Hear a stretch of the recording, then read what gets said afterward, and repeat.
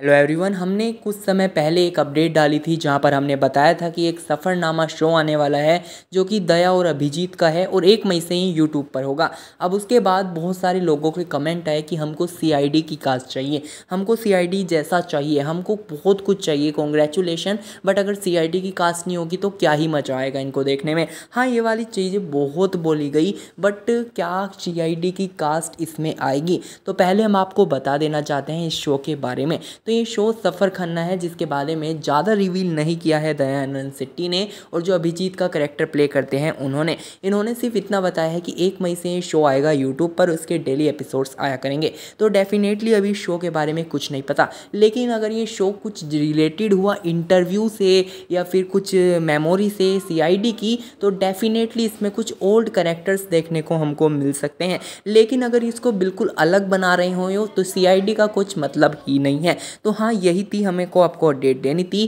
कि सीआईडी की कास्ट आ सकती है, लेकिन अगर ये सीआईडी से रिलेटेड कुछ हुआ या फिर इंटरव्यू वगैरह हुए तब तो अगर आपको हमारी खबर अच्छी लगी तो सब्सक्राइब करें और कमेंट कर सकते